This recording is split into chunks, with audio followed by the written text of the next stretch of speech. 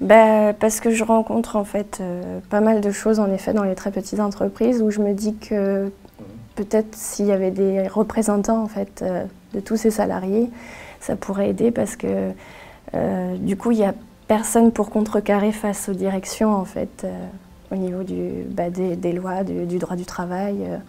c'est très rare en fait qu'il y ait des unités justement syndicales dans les très petites entreprises parce que le souci c'est bah, la peur en fait les salariés aimeraient que leurs conditions de travail soient respectées, mais dès qu'ils essayent de l'aborder, on les fait culpabiliser en fait.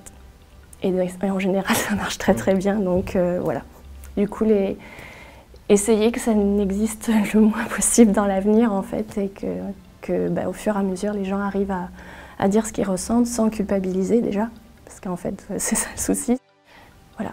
C'était mes, mes, raisons. Je me suis dit, bah, peut-être que qu'on peut faire avancer les choses s'il y a des représentants euh, au niveau départemental et donc régional qui peut défendre euh, bah, toutes ces personnes-là. Bah, des, soucis de, planning, pas forcément très bien répartis, euh, des, soucis où on se retrouve seul à un moment donné et le stress est là parce que bah, moi je parle par rapport à mon métier, on se retrouve seul avec plusieurs enfants hein, sur des moments, on va dire, rush, c'est le repas. Donc, euh, donc euh, c'est assez euh, voilà, intense parce que ben, les autres personnes vont manger, ce qui est normal, mais c'est pas forcément voilà, bien organisé pour qu'on n'ait pas à vivre ce stress parce que ce stress-là va se ressentir sur ben, justement les usagers, les enfants, et c'est pas bon. Bah oui, essayer de surpasser sa peur, c'est pas facile parce que même moi j'ai eu peur plusieurs fois.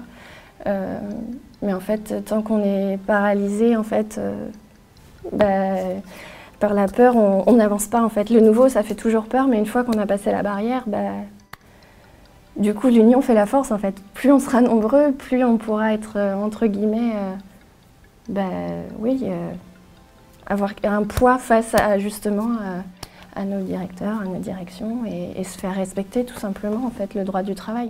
On ne veut pas en abuser, on veut juste avoir des droits, c'est tout. Enfin voilà. Donc l'union fait la force. Ça serait mon message. Voilà.